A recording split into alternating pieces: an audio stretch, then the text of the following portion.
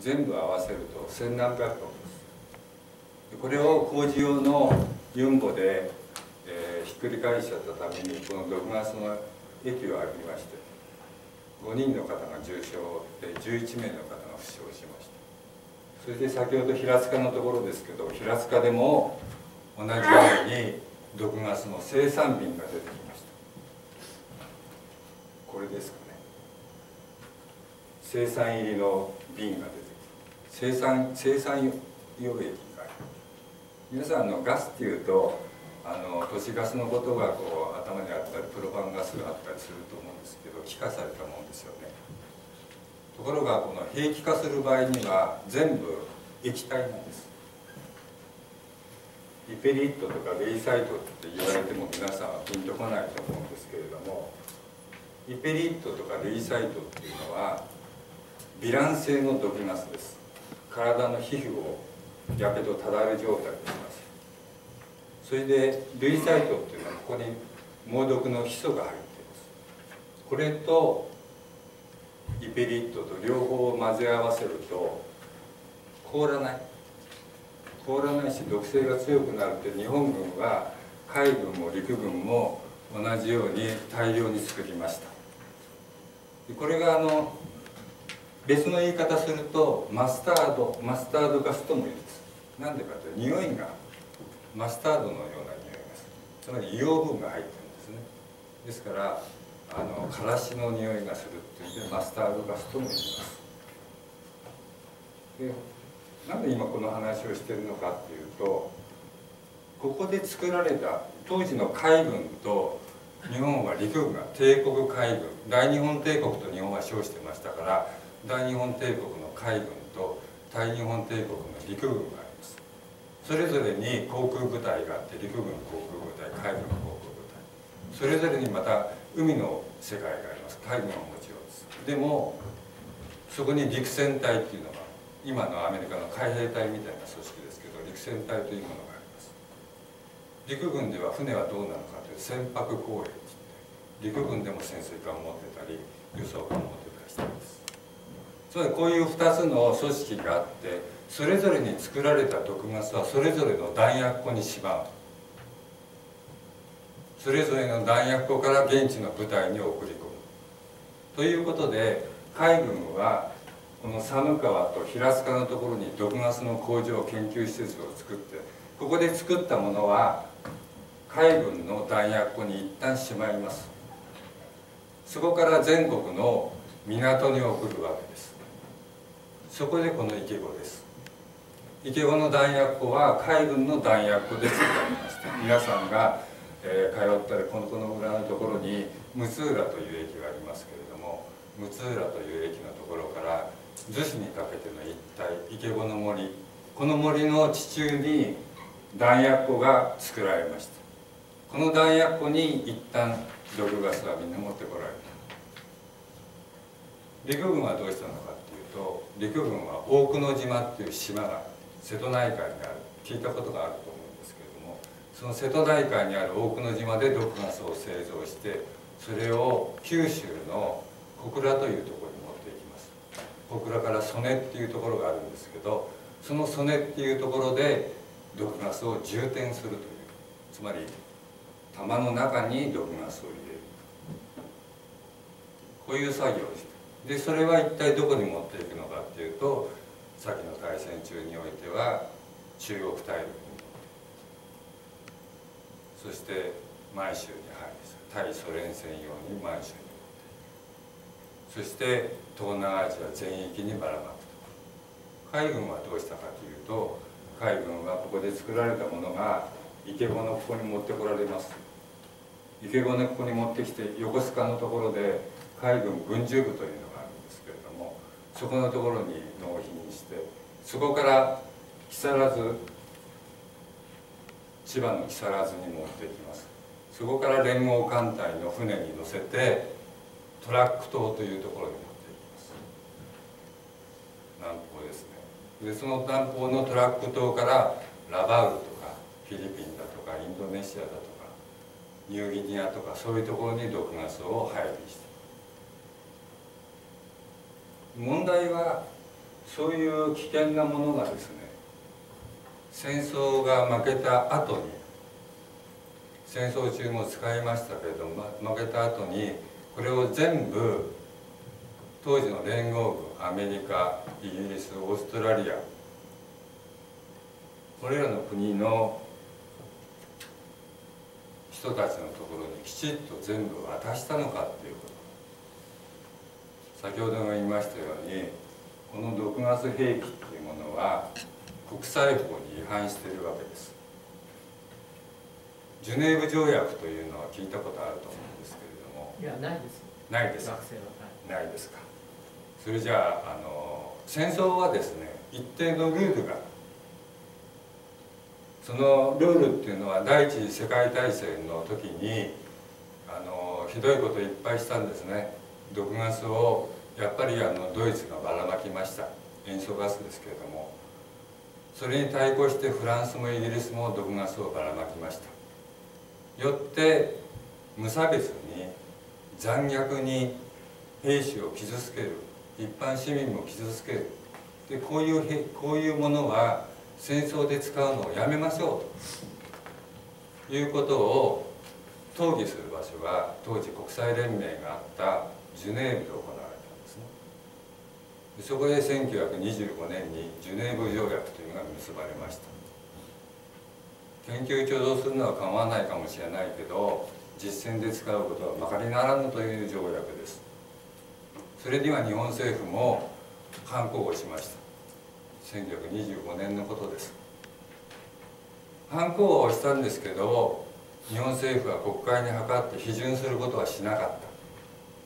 つまり使うことよ。使うことを前提に自分たちも研究開発していますからその手を縛ることはしたくなかったんですね。ですから密かに開発研究をしていった。ここの寒川と平塚に毒ガス工場を作ったのは平塚にまず最初昭和5年のことです。大正時代の関東大震災の時には築地というところでやってました。今の卸売市場のあるとここで毒ガスの製造をしてたんですけれどもあまりにも皇居に近すぎる。ともし事故があった時どうするんだということになりましてそれで平塚に持ってきた平塚のところで相模川の両両側ですね両側に毒ガスの工場を作ろうということでまず最初に平塚に毒ガスの研究施設を作る。昭和18年量産するために寒川の対岸の寒川のところに大きな工場を作りました。そこで作られた毒ガスがここの池子に持ってこられたわけです。じゃあその池子に持ってこられた毒ガスはどういうことになったのか戦後どういうことになったのかっていうことです。アメリカ軍に資料の提出を求められます。日本軍は毒ガスの研究開発やってたことはもう知れた事実です。そこで当時の軍の科学戦をやってた技師やそこの所長たちはどういうどういうことをやったのかっていうと全て口裏合わせをして。毒ガスは作りましたけれどもあくまでも防御用ですと。こういう言い方ですね。攻撃兵器はほとんど作ってません。なんでこういうことを言ってそれでアメリカはそれを納得したのか。まず一つは先ほど言いましたように国際法に明確に違反してるから違反したものを使ったり作ったりしてたっていうことで日本は戦犯戦争責任を問われます。東京裁判において東条英機以下が戦犯として処刑されましたけどその法廷に毒ガス戦のことで戦犯として引き出されると。いうことに対してアメリカと取引をした。全ての資料を出しましょうと。ただし自分たちを戦犯にしては困ると。表向きの資料ですね。それでそうでない部分。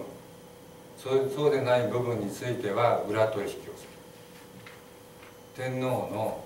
戦争責任が問われるわけです。つまり日本は戦時中軍隊の統制権というのがあって軍隊の最高司令官は天皇です。天皇が知らないわけがない。天皇が実際に科学研究所だとか海軍の毒ガス研究所を視察に行ってます。何をやってたか知ってるわけです。そういう命令も出しています。でこれを天皇を先般にするわけにいかないっていうことが一つ。アメリカ軍の思惑としては日本が広島長崎に原爆2発を落としてもなおかつ環境に抵抗するんならばオリンピック作戦コロネット作戦という2つの日本本土上陸作戦を考えていてそこで毒ガスを使うつもりだった。戦争が日本が8月15日に負けたと。いうことになってじゃあその毒ガスをどうするかっていったら次の次の戦に彼らは準備をしている。使いたい。つまり自分たちの手を縛るようなことはしたくなかった。つまり国際法で日本がこういう科学戦をやってこんなひどいことをやったっていうことが公に出てそれが国際世論となって化学兵器は絶対使っちゃダメなんだということになるとアメリカは朝鮮戦争でも次のベトナム戦争でも化学兵器は使えなかったんですよ。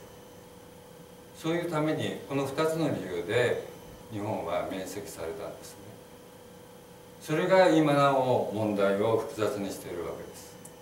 なぜかというと日本は国内で大量の毒ガスを隠したんです。湖があれば湖に埋めた温度決戦用にたくさんの陣地が神奈川でたくさんの陣地があります。ここに手元に資料にお渡ししましてあのこういう1枚のがあると思うんですけどこれは神奈川県内だけのです。神奈川県内にどれだけの毒ガスの関連施設があるか。イケボのところに印がついてると思います。それでこの他のところにもちょっと印があの緑色になってますけれどもこれだけの毒ガスの関連施設があってなおかつ本土決戦ということを日本は考えてました。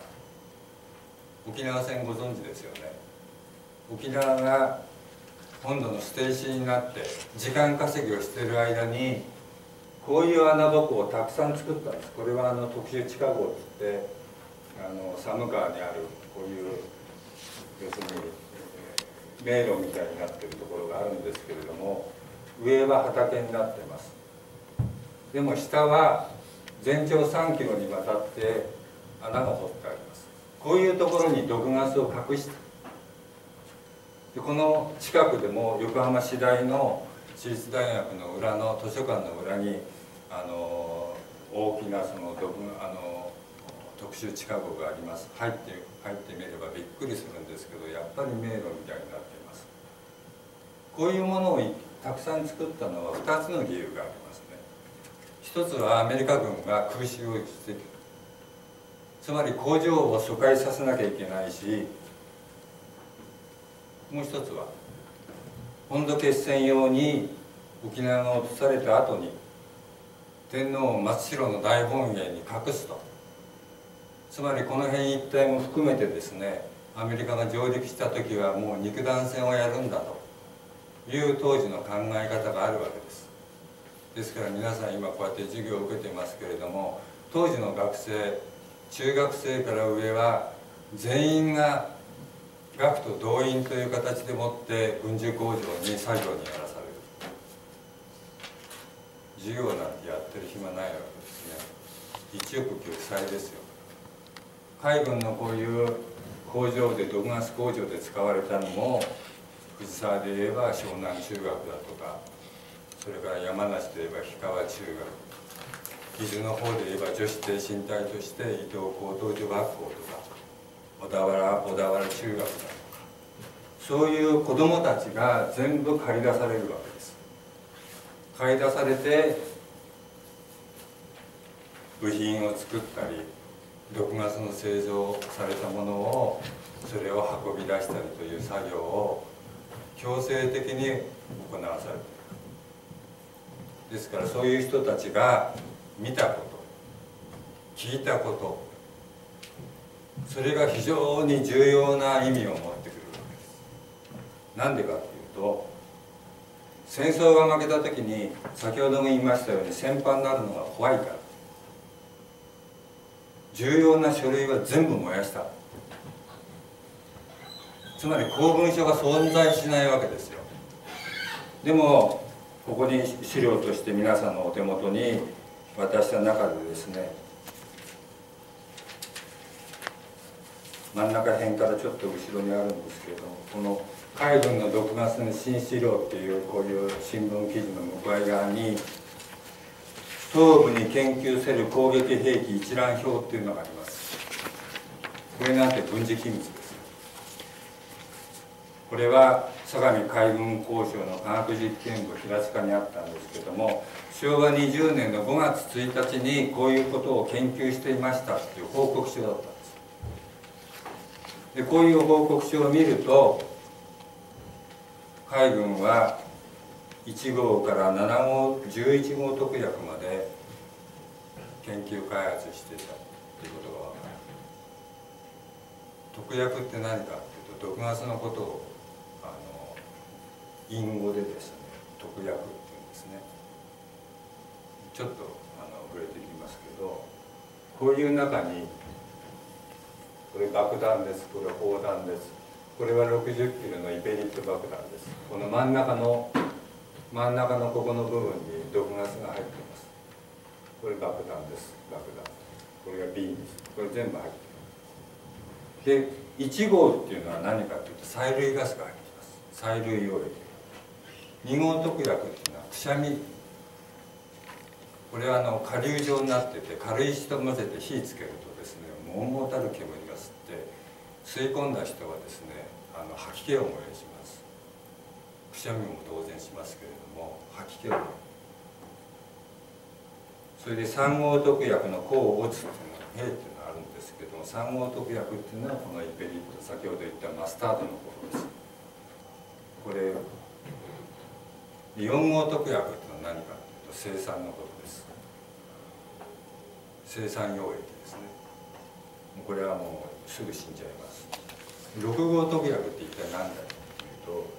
これはあの蛇の毒だとかですね。そういうあの動物の毒を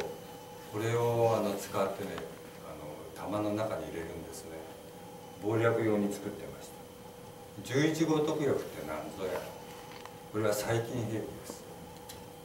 731部隊っていうことを聞いたことがあるかちょっと分かりませんけれども日本軍は中国大陸で731部隊というものを作りました。これは細菌戦争をやるための部隊毒ガスの研究もしました。けれどもそこで中国の人たち捕まえてきてマルタと称してですね人体実験を繰り返していました。このこれと同じことを海軍もこの11号特約でやっていました。陸軍は色で分けたんですね。特約っていう言い方じゃなくて赤だとか赤っていうのは先ほど言った妹くしゃみのことオート剤のこと赤剤と言います。でこのイペリットのことはキー剤と言います。でこのキー剤の中に先ほども言いましたけれどもヒ素が入ってこのベイサイトの中にヒ素が入ってるように日本が作った毒ガスの約7割近くがヒ素が入ってる。猛毒のヒ素が入ってる。でこれが今の液化学兵器処理。もし出てきた時にそれを無害化無毒化するためにどうしたらいいかっていうことになるんですけどもこれが無毒化できない。普通のイペリット毒ガスならば1200度の高温でもって燃やせばその毒素が消えるんですよ。ですから無害化はできる。ヨーロッパはどうなのかというとヨーロッパではほとんどヒ素を使ってないからこれで簡単にあの除毒することができる。ところが日本はヒ素が入ってるからいくら熱しても毒毒性は消えない。有機ヒ素化合物が入ってるでこれを無機ヒ素にすることができるんです。無機ヒ素にした場合はどういうことかっていうと毒はどうなのかっていうと有機から無機に変えることによってさらに毒性を増すさらにそれを火つけるわけですから酸化ヒ素というのはまた毒が入っちゃう金属にあるから金属ヒ素で毒がこういう形で要するに毒性は永遠に変わらないわけですね。それがいよいよこれからがそのイケボの本題に入りますけれどもイケボの弾薬庫に大量に運び込まれた。運び込まれてイケボの弾薬庫からそれを運び出したのか。一部は運び出した。ですからその武器引き渡しっていうのがありますけれども進駐軍に対して日本軍は武器を全部引き渡さなきゃなりませんから武器引き渡し目録というのがあるんですけれどもその目録を見ているとそれがその先ほどの真ん中辺あたりにもう一枚あるんですけども終戦時 GHQ 宛て報告用として北里まとめたものっていうのがここに、東京湾に島運び屋というのが書いてあるこの裏側にあるんですけどこれ見ると1号から3号特約までの数が書いてある。ところが先ほど言ったように陸用の 6, 6番の陸用の爆弾はほんのちょいと。ましてや11号特約最近のことなんかも書いてません。4号特約生産のことも書いてません。書いてないからなかったですね。つまりそういう形でこの数字も圧倒的に少量です。報告したのは。で最初の号にも書いてありますけれども証言子どもたちの証言そういうのを集めて調べてみると実はとんでもないことを相模海軍工場要するに毒ガス工場で行われていたっていう実態が分かるわけです。こういうあの証拠証拠が報告書でまとめた中には決して載ってないことが彼らの口から見たこと聞いたことそして自分がそこに手を下したことが書いてあるいくら国が秘密だと言ってもそういうことは漏れるんですね。それを私らは非常に重要視するわけです。なんでかっていうとこのイケボにイケボで毒ガスの重点作業をやってたっていう国の正式の報告書はないんです。やってたのは平塚と寒川だけだっていうことになる。陸軍もそうです。多くの島だけでやってました。ところがここ10年ぐらいの間にですねいろんな証言が飛び交って出てきます。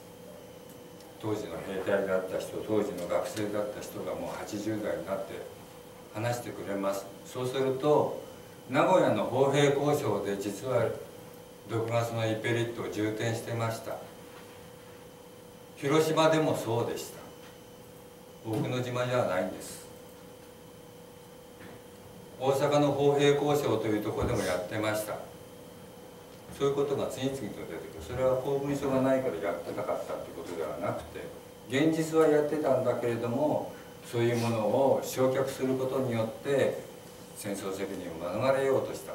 その結果なんです。同じことがイケボにも言える。逗子地域のところは皆さんご存知だと思うんですけど電車に乗ってみるとですね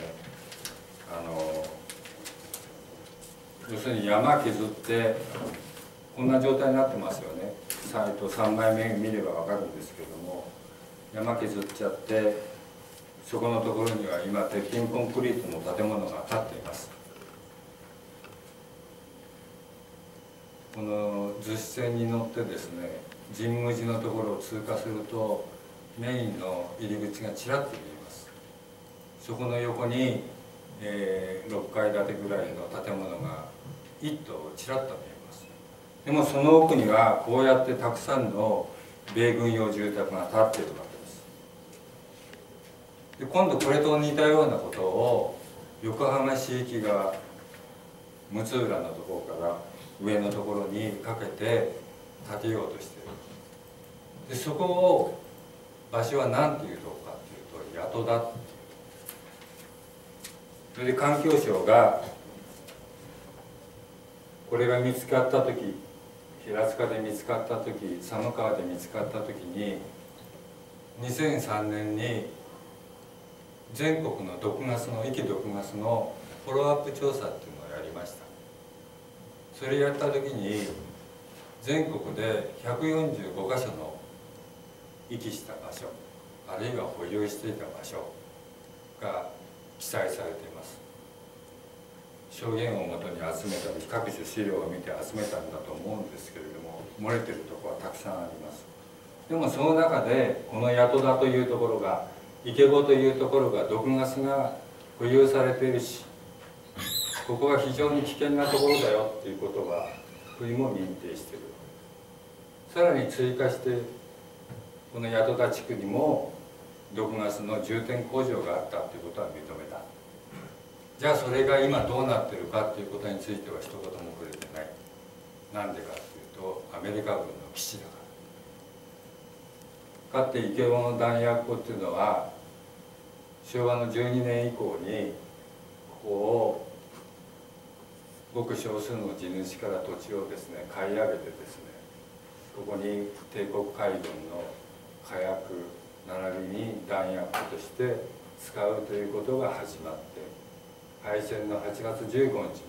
ここは日本海軍の弾薬を基地として使用されていた。で8月15日以降今度はアメリカ軍のアメリカ軍の基地弾薬庫として機能を始める。でアメリカ軍は今まであった日本軍のいろんな弾薬毒ガス弾も含めて表に出てくる使える使える毒ガス貯蔵庫から鉄筋コンクリート製ですからね。そういう使えるところから全て取り出してその代わり自分たちの爆弾をそこに放り込んで貯蔵していく。もっと怖かったのは1958年60年安保の前の1958年に朝鮮戦争の後ですけど台湾海峡で非常に中国と台湾との間の緊張関係が高まった時にアメリカは核兵器の使用を辞さなかったことがあります。そして58年に日本全国11カ所に核兵器を戦術核兵器というものを置いた。そのうちの一つが池子だった。これはもう内緒にしてたわけですけれども実はこれもスクープでバレました。その後どうなったのかっていうと今度はここに毒ガスを持ち込んだアメリカは1969年から70年にかけて沖縄で毒ガスが大量に見つかってアメリカ軍に毒ガスを撤去しろという沖縄の島ぐるみの戦いが起きましたけどコザ暴動といってもご存知ないと思うんですけれども沖縄は当時アメリカの軍政下にありました。日本国憲法なんか全然通用しない場所です。ある種植民地です。ですからアメリカのいいように使われたんですけれどもそこに VX ガスだとかサリンだとかそういうものがものすごい数貯蔵されていた。それを撤去した後に今度はこの池子にまた持ってきた毒ガスそれが出たり入ったりして毒ガスのそれが終わったのが1970年代の後半です。その後にアメリカ軍はこの弾薬を使うことをやめて有給地となっていました。ほんである日突然ですねここに住宅作るんだと。いうことで先ほどの逗子市側に住宅が作られていくわけです。猛烈な逗子市民の反発がありまして長いこと戦いを続けたんですけれども残念ながら逗子市側には米軍住宅が建てられてしまいます。じゃあそれ建てた時に毒ガスは出なかったのか。その調査はしたのかっていうことなんです。残念ながら調査はしてません。つまり建てられた建物のはこの弾薬庫の逗子市側のここにえっ、ー、と1234真ん中辺ぐらいですかね。こういう資料としてお渡ししてあると思うんですけれども。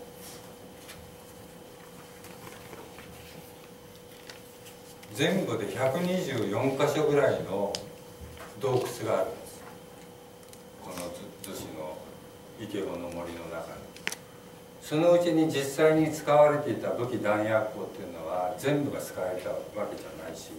さらに配線のギリギリまで穴ぼこを掘ってたんです。疎開工場にしたりそこであの機関銃の弾を作ったりそれで毒ガスの充填作業もやったりということもやってました。穴を掘らされたのは在日の連れてこられた朝鮮人強制連行された朝鮮人の人たちがほとんどでした。もちろん学徒の人たちも穴を掘らされました。その穴の中で作業をやってかぶれたり体を異変を起こした人はたくさんいるわけですけれどもこのギリギリまで掘られた穴っていうのはそのままの状態です。そういうところに先ほど言ってるようにこの毒ガスが隠されてないか。こういうことの調査はしたのかとい残念ながらしてない。したっていう記録がないかそれが現在に至ってる。そして向こう側に逗子市側に建物が建った後に今度は横浜市駅側に根岸の住宅をお前たちに返してやるからその代わりの建物をよこせ。日本の予算でそれを建物建てろっていう話ですね。思いやり予算っていうらしいんですけれどもところが実際は住宅は余って建てる必要はないんですけれどもその計画は現在も進行しているわけです。そこでこの横浜市駅側に建物を建てようとすればその周辺にたくさん埋まってるだろう毒ガスの問題が浮上するわけです。つまり六十数年前にそういうところにもし毒ガスが置かれたらどういうことになるかっていうと入れ物があるんですけどこれは中国で発掘されたドラム缶毒ガスに入ってドラム缶はこうやって腐食します。ですから中の毒ガスの液は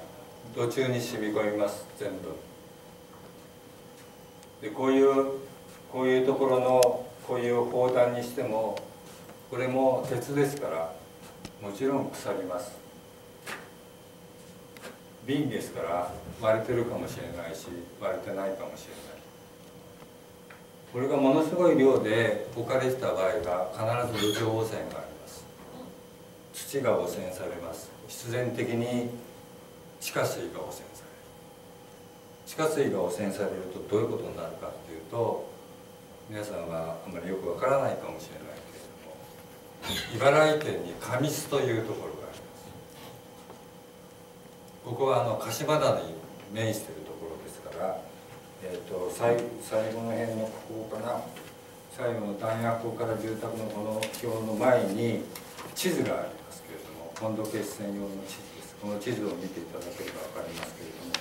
この鹿島棚のところ銚子から北のところに郷の池神の池って書いてあります郷の池っていうところがあるんですけれどもここが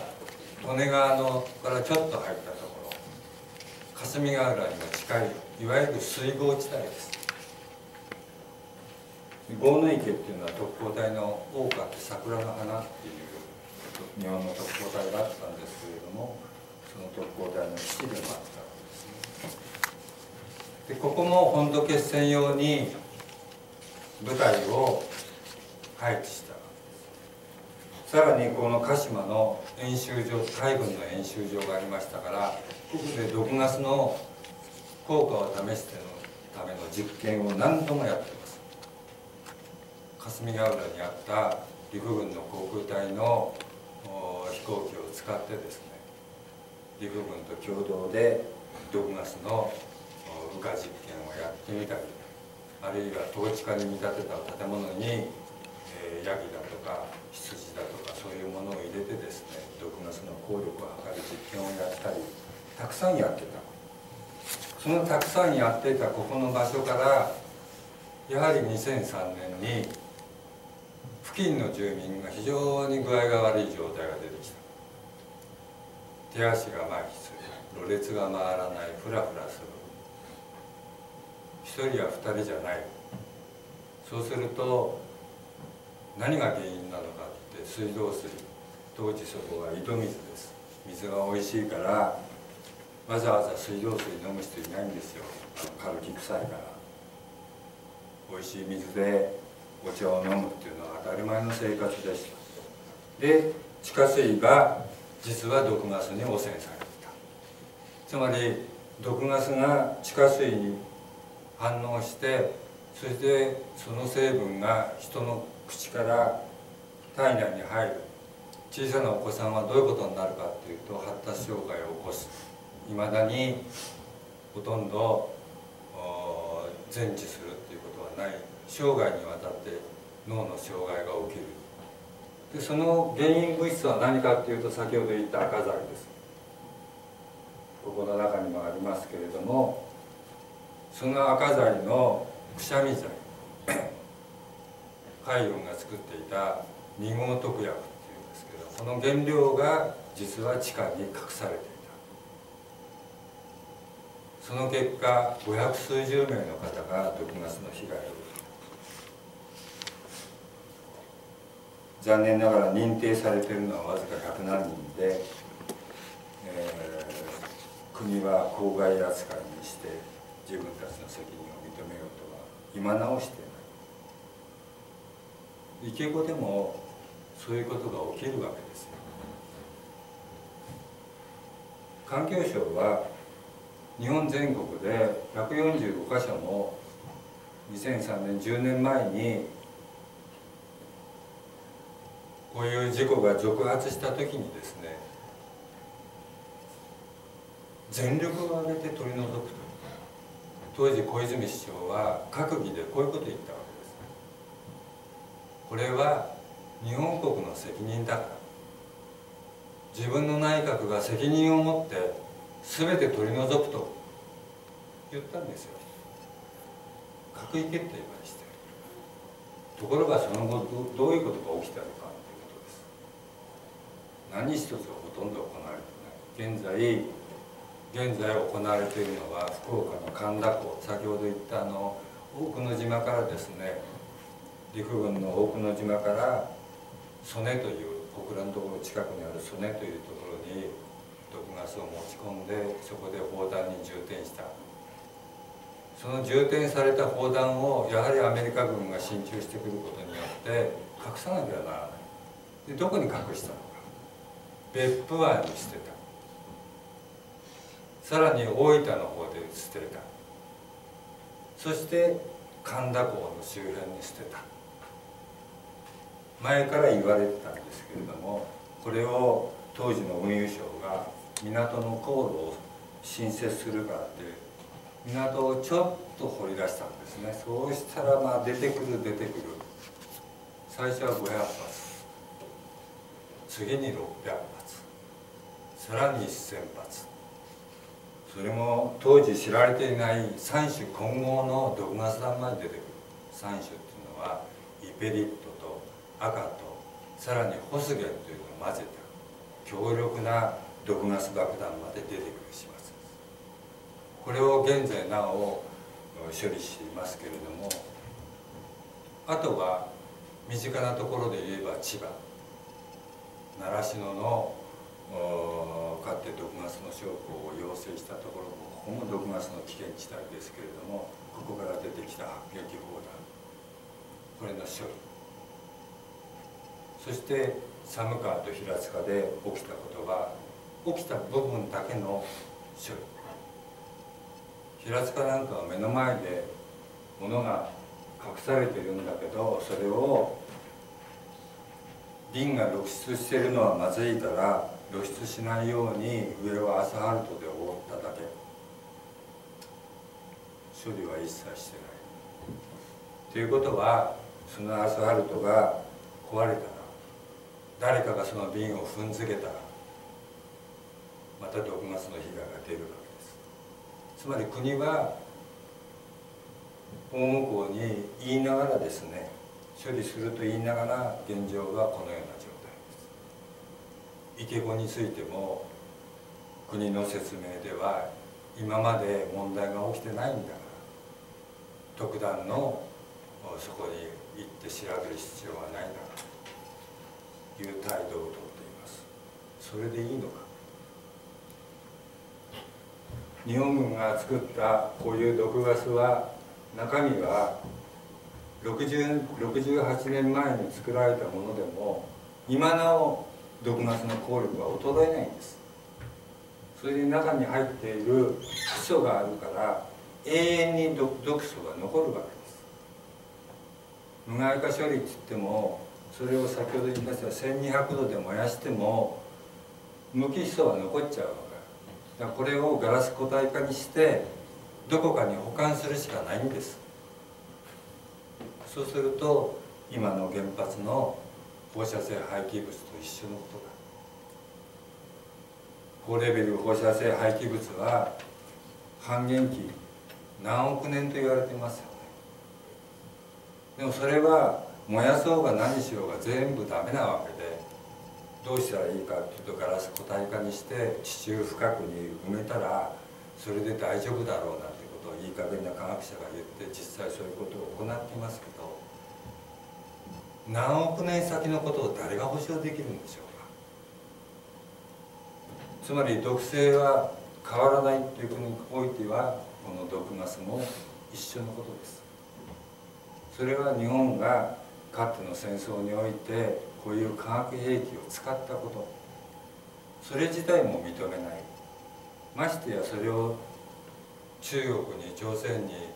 東南アジア全域にわたって置いてきたことすら容易に認めようとはしない。必然的にそれで起きた事故が起きて被害者が出てその人たちに対してですねあの救済の手を差し伸べるとか医療支援をやるとかそういうことすら現在行われている。私はよく言うんですけれども終わらない戦争というふうに言ってるんです。戦争で日本は負けました。負けて戦後新しい国づくりが始まったと。もう二度と戦争のあんなとんでもないことはやめましょうっていうんで日本国憲法が出来上がった。でも今日今皆さんはご存知だと思うんですけれども秘密保護法なんちゅうものが今国会に上程されていますけれどもこういうものが私はこう思うんですけれどもこの先の大戦中似たようなことがなかったのかということ先の大戦中には治安維持法というのがありました。ほいでこういうこういうとんでもないことをやっていることをこれ全部秘密にしてたんですね。当時軍機法っていうのがあって軍の軍の機密の機って軍機法っていうのが昭和12年に8月に作られたんで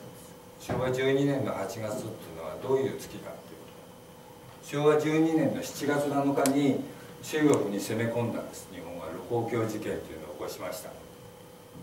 それからわずか1か月もしないうちに軍機法っていうのを作っちゃうんです。全て機密です。そういうのを国民の間に広げること知らしめることはお上に対してとんでもないことをやる非国民であるスパイである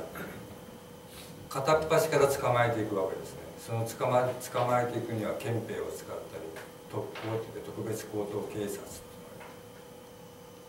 まずこれでがんじがらめにします。でこういうところで従事してた人たちは何かっていうとどういうことになるかというとまずここで従事する時には誓約書を書かされます。生涯にわたってこのことは言うなと。国家機密だ。寝言でも言うなですから中で子供たちが見たり聞いたりしたことをたまたま手紙に両親のところで手紙に書きます。自分のいるところがすごい匂いがして気持ち悪くなっちゃう。それ書いた子供はどういうことになったのかっていうと雪の降る中すっぱだかにされてですねこれで「精神棒」っていうこんな棒があるんですけど「精神棒」って書いてもう一つは「注入棒」っていうのを書いて注入っていうのは何かと海軍精神を注入するんだということでこれで引っ張たくわけですねで引っ張たいただけじゃなくて今度は子どもたちを太鼓2つに並ばせて要するにこういう人間を出したそのクラス全員の連帯責任だっていうことで殴り合いさせるわけです。対抗ビンタ。こういうことで金縛り状態にしますから必然的に戦争が終わった後も自分がこういう軍需工場でどんなことがあったのかっていうことをしゃべるのは非常に困難です。僕が現場に行って年いった方に多分この人だったら知ってるかなと思って農夫の方にお話を伺うとなかなか話はしてくれないんですけれどもでもいつか誰かがこんなこと言わなきゃなんないねっていうんで話してくれるんですけども最後まで名前は出さないでくれと。縄手錠がかかると。縄手錠ですよ。それが80いくつの人がそういうことを必死の顔で言うわけですよ。ですから教育っていうことがね戦前の教育っていうことがどれほど凄まじいのかそれが国家機密っていう中でやった時になかなか表に出てこない。その結果戦後ですねこういう毒ガスの被害者が後を絶たない。もうちょっと前に話してくれたらここの場所にこういうものが危険なものがあるっていうことが分かるから少なくとも子どもたちは被害に遭わないだろう。ということが想定されても皆さん口をつぐんでる。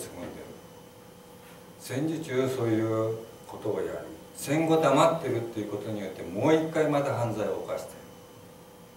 この国がそれです。これ私はあの国の不作為っていうんですけれどももっと言えば例えばそこに危険なものがあってそれに触ったら必ずその人は怪我をしたり下手をすると死ぬと。いうのが分かった時に今の刑事裁判なんかは何て言うかっていうと密室の行為ってそれが殺人なら殺人罪として問われるわけ。今日本政府がやってることは密室の行為にあたる犯罪行為だと僕は中国の人たちは言われなきこの毒ガス弾によって発達障害を起こしてこれからの人生むちゃくちゃにされてます。すでに死者は何百人も出てるわけです。でもそれその人たちに対して何の保証もないわけです。この国においてもそうです。この地図のところにこの神奈川県のここの中だけでどれだけの人たちが被災して被爆しているか。その人たちに対して国はどういう態度をとっているのかっていうとまず一番最初に出てくるのは土の中にある場合は道路工事をやったり建築工事をやりますから穴を掘ります。必ず土木作業員が被害を受けます。あとは湯河原なんかの例だと遊んでた子供がこの生産日を見つけたんですね。でそれでたまたまその子が大丈夫だったんですけどここには生産溶液が入ってた。もし割れてたらその子は死んでたでしょう新聞記事を古い新聞記事を見ていくと必ずこういう問題が出てる何人も小さいお子さんも亡くなってるし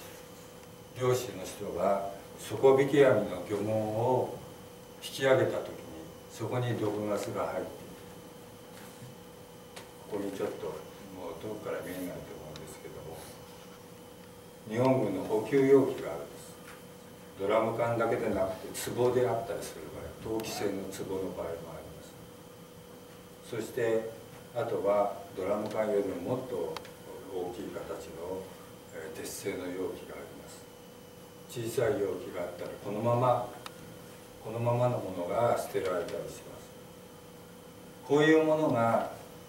海に捨てちゃったんですよ。で戦後それを引き上げた場合海上保安庁と国と自衛隊はどういうことをやるかっていうと無害化処理なんかやらないのね。何やるかっていうとまた海に捨てちゃうんですよ。一旦こういうところで相模湾とか横須賀の沖とか富津の沖とかこういうところで引き上げられたものをもうちょっと深いところにまた捨てに行くわけ。これが彼らという無害化処理だったんですね。これいつまでこんなことやってたのかっていうと実はこれから13年前までやってた。戦後何十年経ってもずっとこんなことやってた。なんで2000年になってからこういうことがやらなくなったのかっていうとロンドン条約っていう国際条約を日本は批准したからです。ロンドン条約は何を言ってるかっていうと海洋に放射性廃棄物も含めて毒ガスもそうですけれどもそういう有害な化学物質を海に捨てることはまかりならぬ。当たり前の話ですよ。ですからそれまで1999年に大量にアメリカもそうですけれどもソ連もそうですけれどもどさくさにまみれてバンバン捨てていってそのツケは今来ます。さらにこれから先も。今福島の第一原発のところで汚染水がどんどんどんどんダダ漏れ状態で流れています国が発表している数値の何十倍何百倍ものがついつい23日前も2万何千倍新たに見つかったと言ってます。そういうことが許されるのかっていうことです。つまり国際的に見ると日本は核の犯罪国家ですよ。国際法に違反してダダ漏れしてる意図的にも流した。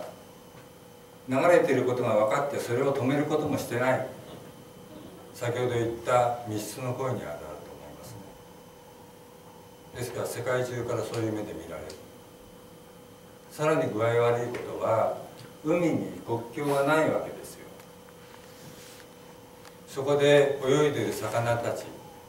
あるいは貝海藻の類そういうものの一切合切が植物連鎖の世界に入っていきますけれども人体にとって極めて具合悪い世界が今作られているわけですね。ですからもっと危機感を持って私たちはこれをきちっと見届けなきゃならないそういうことをやらせないようにしなきゃならないこの池子が何で私がこういうふうにずっと言い続けるかっていうと池子の緑っていうのは極めて重要な役割を果たしています。この周辺でこれだけの山があってこれだけの緑があるところっていうのはもうそうないわけです。すでにご存知だと思いますけれども一旦自然を破壊した場合が再生することにものすごい時間がかかります。ましてや毒ガスこういうもので汚染された場合のことを考えると再度再生してそれをどかして新しくきれいにして次の世代に渡すっていうことがどれほど困難なことでも今私たちはアメリカ軍の住宅を建てさせない。そしてそこの場所に今ある建物は全部壊していただいて元の自然に戻ってもらいたい。当然ここに埋めたであろう。そして全ての洞窟を調査をしてもらいたい。そこにある有害物質は全部取り除いてもらいたい人間が等しく幸せに生存する権利っていうものをこれは世界中の人が持っています。人権宣言の一番大事なところです。日本国憲法でもそれは謳っています。でも今やってることはどういうことかっていうと人権蹂躙が行われています。福島においてもそうですしこの池子においてもそういうことが言えると思います。たまたま今重大な地下水が汚染されてるあるいは土壌が汚染されてるってことがわからないだけです。調査は必要ない。これをアメリカ軍の基地の中だからといって日本国政府が手をこまねいていることはおかしい話です。いくら基地の中でも日本の土地です。この周辺には住民が住んでいます。ですからこれを日本国はやっぱり国民の生命財産を守るに一番大事なことを忘れてる。アメリカの言いなりになってる。この現実を僕たちはこれはおかしいだろうと。住民の身体生命に関して日本国政府がそれを守ろうとする義務を怠るんだったら私たちは次の手を打たなければならないはっきり言ってこの中に入って独自に調べるしかないわけです。刑事特例法とか言ってアメリカ軍の基地の中で勝手なことをやったら捕まるかもしれないけれどもでもこの土地の安全性を確認するにはそれ以外ないとなればそうせざるを得ない時期が必ず来るんじゃないかと私なんかは思っています。つい、何ヶ月前でしたかね。沖縄で枯葉剤が見つかりました。沖縄の基地のところに枯葉剤が隠されてたんですね。それが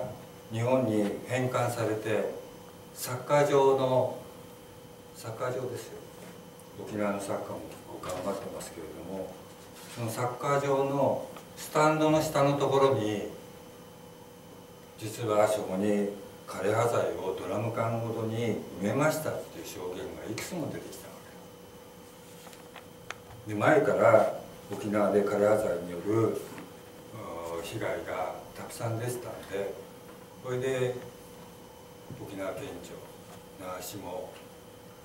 民間の学者の人たちあるいは市民団体の要請を拒否することなく調査をしたら案の定出てきた。誰がこれを埋めたんだ。アメリカ軍ですよね。つまりそういうものを使って危険なものを置き去りにしてあと知らん顔をしているのがアメリカですよ。そういうのを許しているのが日本とアメリカの間に結ばれた地位協定。日米安保条約に巡る地位協定ということでアメリカは勝手に使っていいと。あともきれいにして返さなくてもいいんだと。こんなね無法をね許している国はね日本だけですよ。フィリピンはどうなのかってフィリピンがねクラークっていうところに大きな海軍の基地があった。あのフィリピンでさえねアメリカ軍どかしたんですよ。その軍事基地をどかしてさらにそのクラーク基地っていうのがいろんな物質で化学物質で汚染されたのをアメリカ軍にきちっときれいにさせて元通りにして返させた。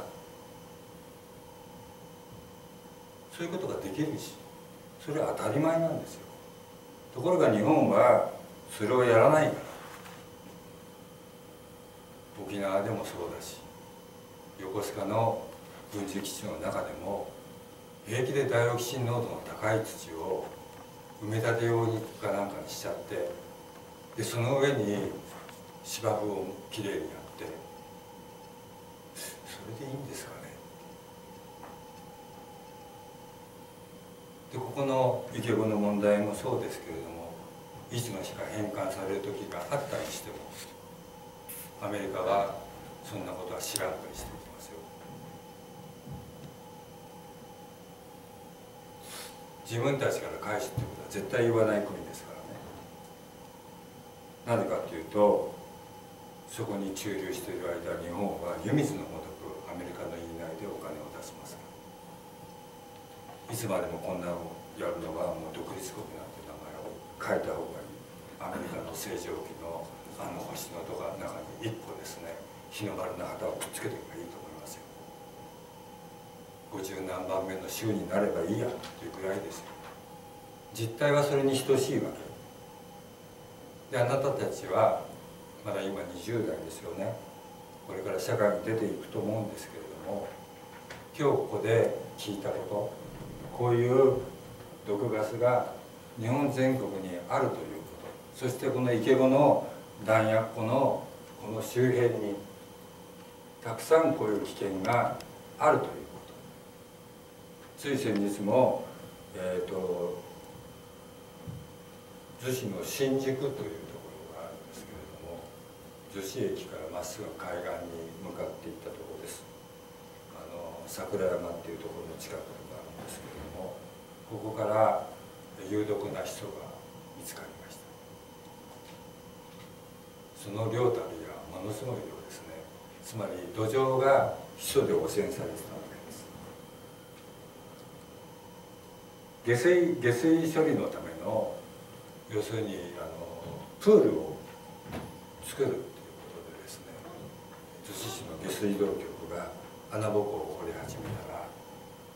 とりあえず土壌の検査をしてみようと。そしたら4メートル地表から4メートルのところからさらに30メートルにわたってヒ素で汚染される。つまり国の環境基準を超えるヒ素が検出されたわけですね。女子市はこれは無機ヒ素だ。つまりこの自然界には無機ヒ素があるわけですよ。ですからあの別に有害あの毒ガスのとかそういうことじゃなくてね井戸水が例えばインドとかバングラデシュとかそういうアジアの各地でですね井戸をいっぱい掘るんですけれどもそこに自然界にあるヒ素に汚染されるということでヒ素慢性ヒ素中毒になる人たちが後を絶たなくいるわけです。ただその無機ヒ素と有機ヒ素をきちっと分けて検査してるのか最初だけでは無機ヒ素か有機ヒ素かわからない。さらにそれを精密に検査することによってそこから有害な他の物質が出てくることによって有機ヒ素だっていうことが分かるわけですけど残念ながら女子誌をやったのはこれはもう無機ヒ素だっていうことで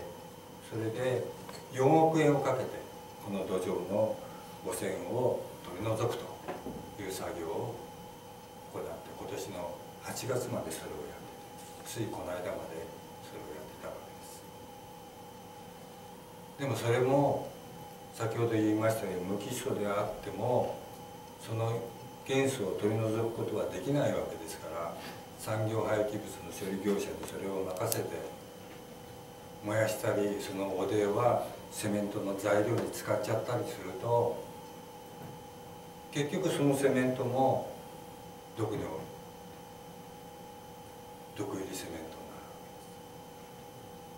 るす。ごい怖い話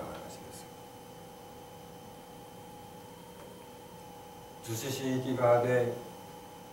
その新宿の問題もそうですけれどもさらに桜山っていうところは道路の下水管をやってたらそこからも有毒な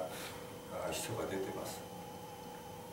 ですからもう一度逗子市全域にわたってですねやっぱり地下水と土壌の検査っていうのを精密にやらなきゃなんないと思っています。同じことがこの横浜市域側六浦の周辺においても同じことが言えると地下水の水脈っていうのはものすごいあの分かりづらい感じで海に向かって流れているそれはあの本当に地下の断面を見ないとよくわからないんですけれども少なくともその地下水が汚染されるという状態は今あってもおかしくないと思いますね。確かに井戸水を飲むは少ないかもしれませんけれどもその井戸水を使って家庭菜園で水をまいたりあるいはそれを洗車するといってまあ、車の洗車に使ったりいろんな日常的なことで使ってるはずです。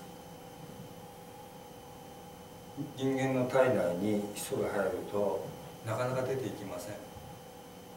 厄介なものです。放射線と一緒です。放射線が中に入るとそこから放射線を出しますから内部被曝っていうことが起きます。こういう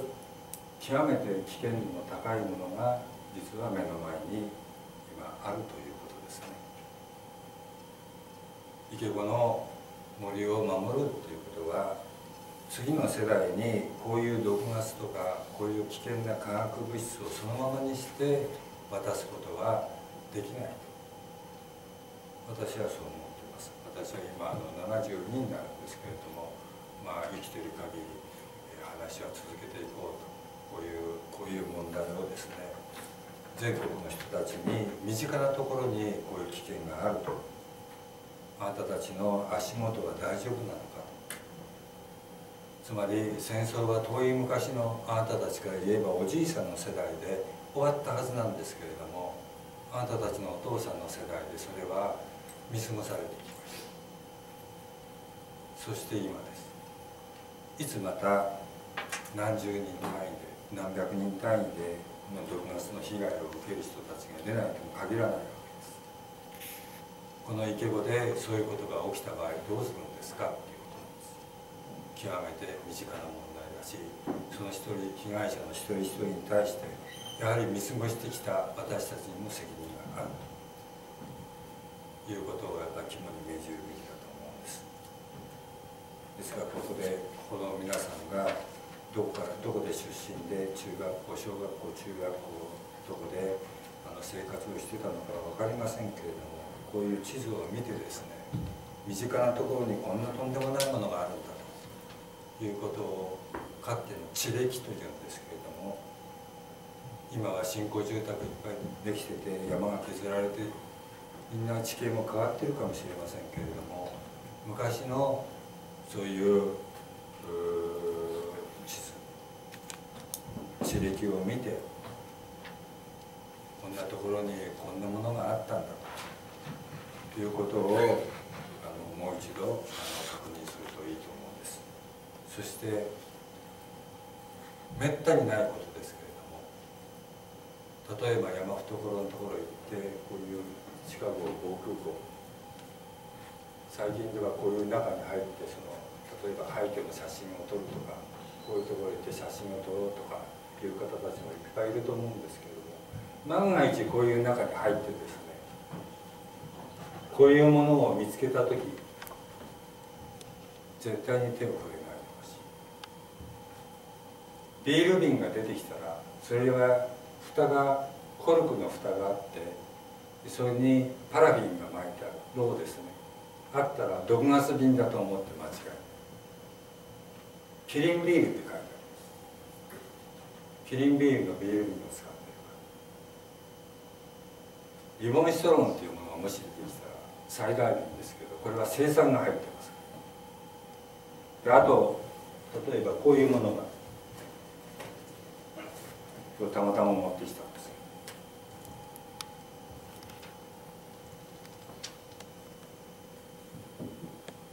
これ陶器です。常滑焼きっていう焼き物でやってあります。ちょっと重たいです。これは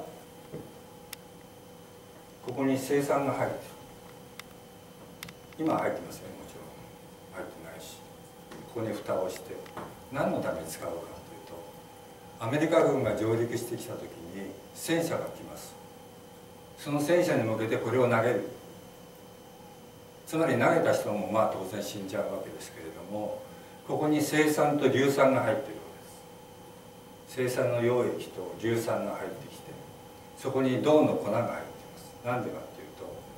生酸自体は非常に不安定なものです。硫酸を入れるとどういうことかっていうと生酸はガスだけですけど硫酸が入ると皮膚皮膚をやけどさせます。その皮膚から血液の中に生酸が入り込んできます。よって殺すことができる。そういう仕組みになっている。これが特攻用のこれは現物です。こういうものが例えばこういう中でいたりあるいはあの湯河原の子供はこれと同じものがあってガラス瓶のやつを拾ったんですけれどこれはみかん畑のところたまたま出てた。そういうこともあり得るだから頭のどっかに入れておいてこういう中でいろんなものがあるいはそのタクシーの造成の時に何かこう変なものが出てきた場合はあの絶対に触れないでもらいたい中に入っている毒物はあの何十年経っても劣化しないんです。生きてますから。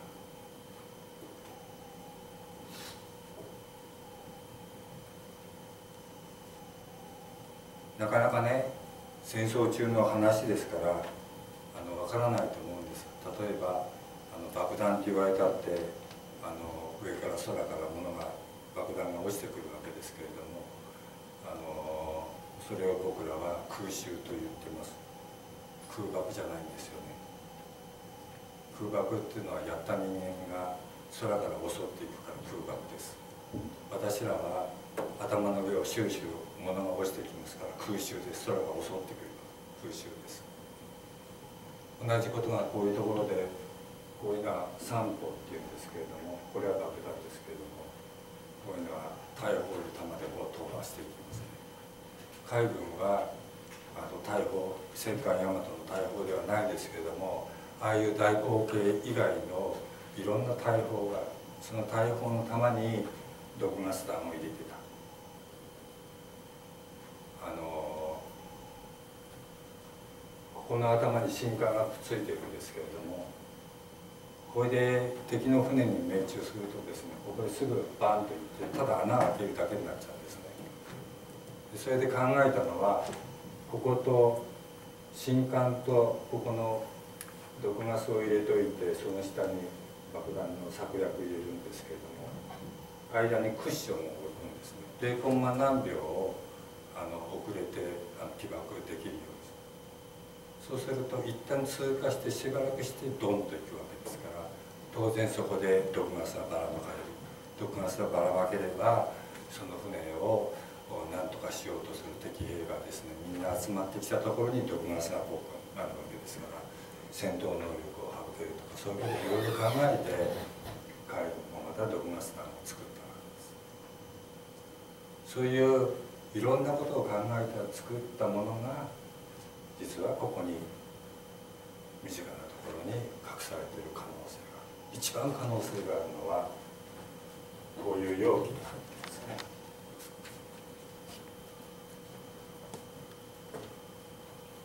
時間的にはいいですかね。えー